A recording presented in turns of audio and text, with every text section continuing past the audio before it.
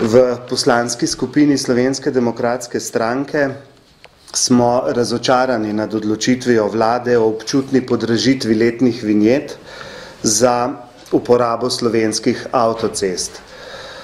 V teh težkih časih gospodarske krize, ko se ljudje borijo za vsak evro, se je vlada odločila, da podraži cestnino za več kot sedemdeset odstotkov.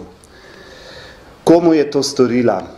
To je storila predvsem svojim slovenskim prebivalcem, saj je jasno, da so bile letne vinjete ugodne predvsem za slovenske uporabnike avtocest.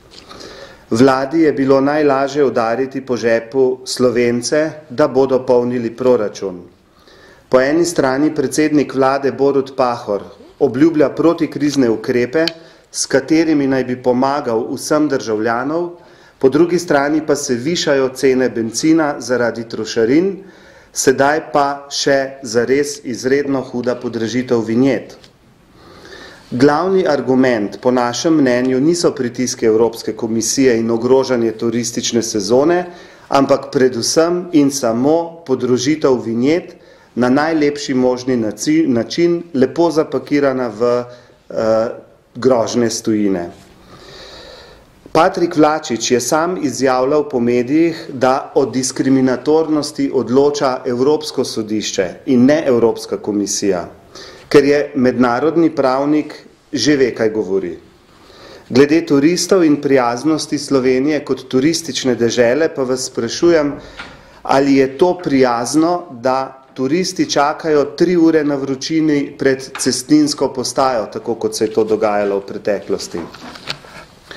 S to podražitvijo se sedaj Slovenija uvršča na sam vrh med državami, ki imajo vinjete.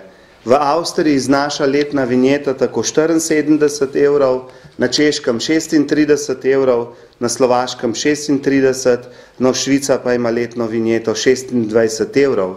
Zanimiva je morda še ena primerjava z Avstrijo.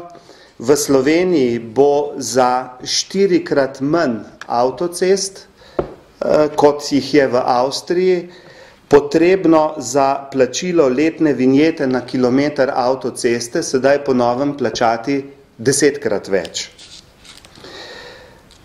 Predlagamo torej, da vlada, preden pošlje zakon v parlament, še enkrat razmisli, tehtno razmisli o svoji odločitvi. Prvič, Vlačič je sam priznal, da bo s to spremembo pobranega enajst milijonov evrov manj. Po navedbah časopisa Finance, kot beremo danes, pa je ta ocena še enkrat višja torej. Pred volitvami in tudi kasneje pa je ta koalicija nam očitala nevzdržnost sistema. Sedaj pa bo enajst milijonov evrov, kot slišimo, gospodarna odločitev. Še enkrat povejmo, da je bilo v letu dva tisoč osem pobranih za trideset milijonov evrov cestnine več kot v letu dva tisoč sedem. Drugič, tudi Evropska komisija uradno svojega stališča še ni povedala.